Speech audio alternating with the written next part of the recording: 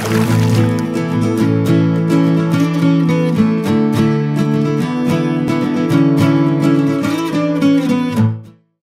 dobry, nazywam się Maria Drozdowski, a to mój mąż Edward.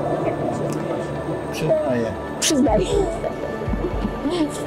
Chcieliśmy opowiedzieć e, no, historię z, naszej, z, naszej, z naszych podróży kamperowych. Jedna z naszych podróży wiodła nas do, na Mazury, do Nakomia. Dowiedzieliśmy się przypadkowo o tej miejscowości w Trójce od pana Olszańskiego. Zainteresowało nas to.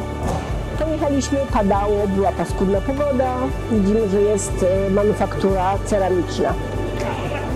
Niesamowite. Okazało się, że właściciel, dosyć młody człowiek e, z Warszawy, kupił e, zrujnowany pałacyk i zaczął go remontować. Niestety miał problem z odrestaurowaniem pieców. E, Ponieważ nie znalazł żadnego fachowca, który był w stanie to zrobić, postanowił zrobić to sam. I stworzył właśnie tą manufakturę, którą można teraz zwiedzać. Niesamowite rzeczy robią, przepiękne piece. Bardzo nam się podobało. I spotkaliśmy przypadkowo właściciela, który nas zaprosił do parku. Nie skorzystaliśmy e, ze względu na pogodę, ale było super.